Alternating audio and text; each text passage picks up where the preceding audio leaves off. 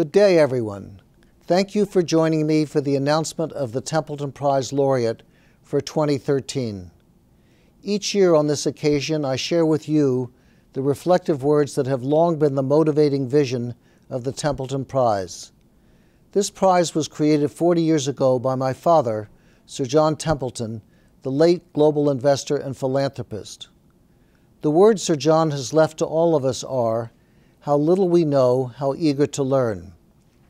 This vision for the prize has always fostered a pursuit of, dis- of discovery, most especially the seeking of new insights into the limitless potentials in the realm of the spirit. The essence of this vision is what Sir John summarized as spiritual progress. Reflecting Sir John's spiritual and philosophical worldviews, the Templeton Prize affirms that there are indeed real and accessible spiritual realities. Moreover, all humans have a fundamental spiritual dimension, a dimension which is just as real as their physical or material nature. This timeless belief is one that is shared by an overwhelming majority of people around the world, both past and present. So, what exactly do spiritual realities encompass? First, concepts associated with the Spirit would clearly include prayer, thanksgiving, love, and a pursuit of the divine. But so too creativity, purpose, and infinity are also essential spiritual realities. Sir John envisioned that the prize would identify entrepreneurs of the spirit, those who devote their talents to expanding our vision of human purpose and ultimate reality.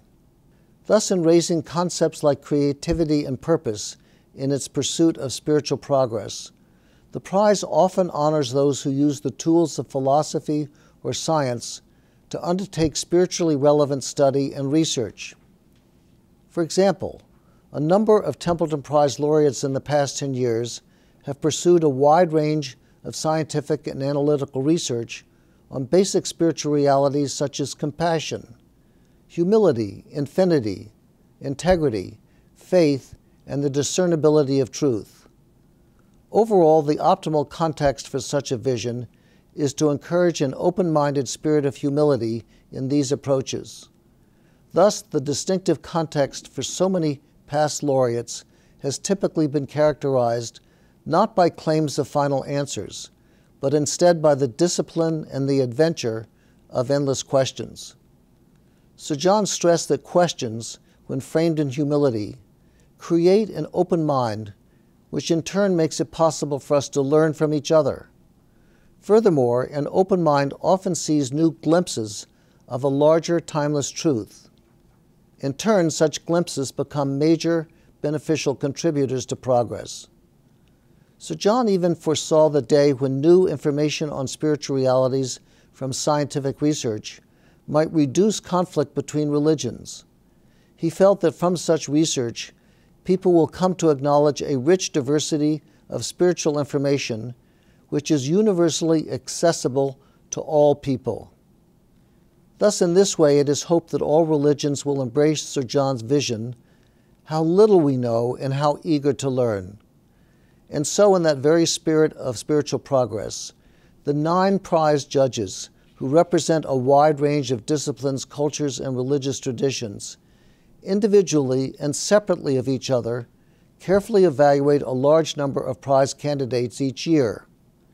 From this process, the Templeton Prize judges have chosen the 2013 Templeton Prize laureate as Desmond Tutu, the Emeritus Archbishop of Cape Town, South Africa.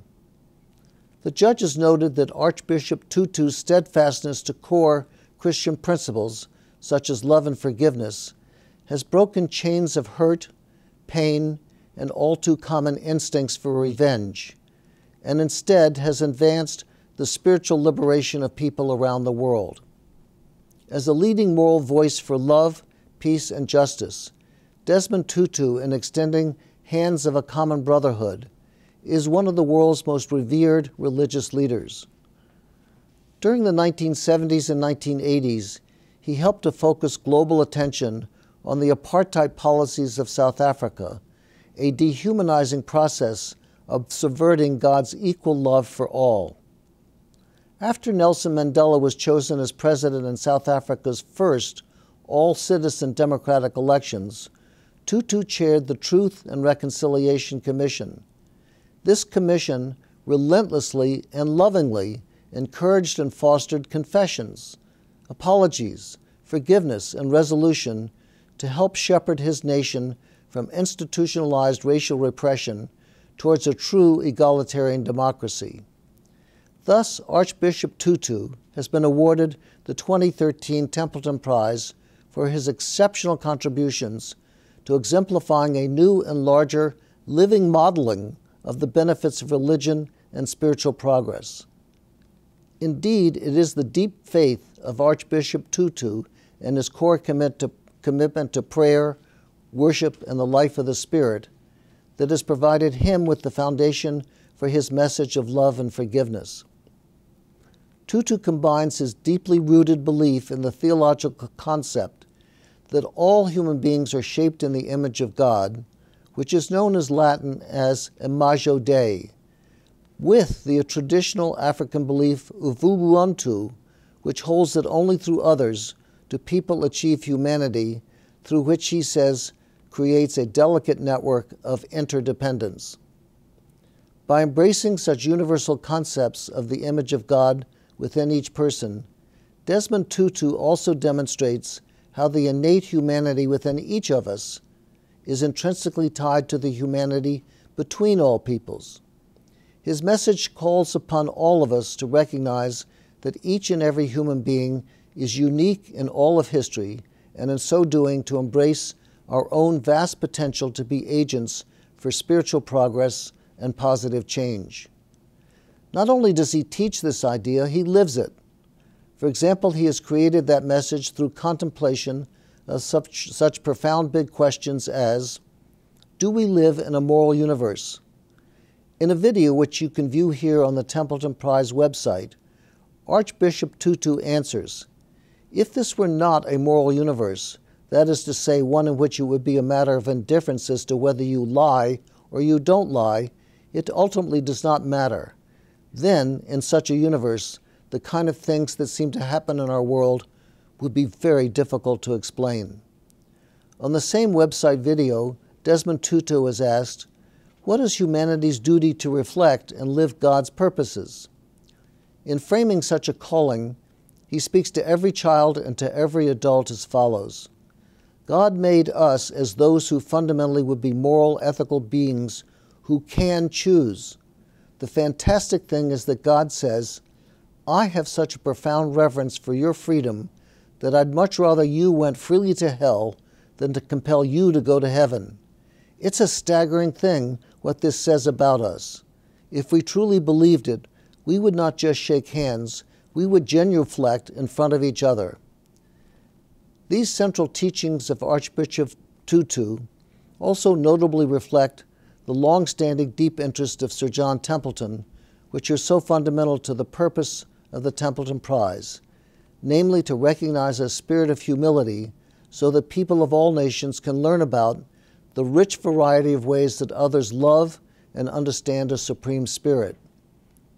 Despite his retirement from public life in 2010, Archbishop Tutu continues to share his restorative messages with audiences across the globe. In 2007, he helped form the Elders, an independent group of former world leaders who work for peace and human rights through, for instance, their partnership to end child marriage called Girls, Not Brides. Today, as we celebrate the Templeton Prize and over 40 years of spiritual progress, we pay homage to Archbishop Desmond Tutu. As a true entrepreneur of the Spirit, committed to creating a society guided by the essential human values of love, hope, tolerance, and courage, and also for his insights into the totality of God's love, the spiritual dimensions of human experience, and most especially for his advancement of spiritual progress. Thank you again for joining all of us today in this most joyous announcement.